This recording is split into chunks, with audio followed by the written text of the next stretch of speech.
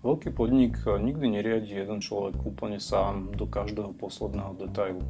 Samozrejme človek, ktorý je na vrchu, generálny riaditeľ, nastaví nejakú stratégiu, nastaví smerovanie podniku a potom pod sebou sa snaží si vybudovať nejakú, nejakú riadiacú štruktúru, riadiacú vrstvu. A ja samozrejme počúvam stratégiu, ktorá je nastavená z hora snažím sa prísť na to, čo moja organizácia, ktorá je podobnou, môže spraviť preto, aby táto stratégia bola úspešná.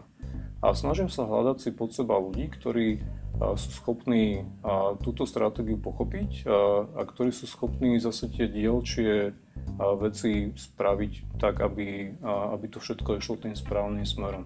A pre týchto ľudí je dôležité, aby vedeli robiť samostatné rozhodnutia, také, ktoré mňa nezaťažujú a aby vedeli posúdiť, že, že ktoré sú tie rozhodnutia, s ktorými musia prísť za mnou. Keď sa toto všetko podarí nastaviť v celej tej hierarchii, tak potom je organizácia úspešná.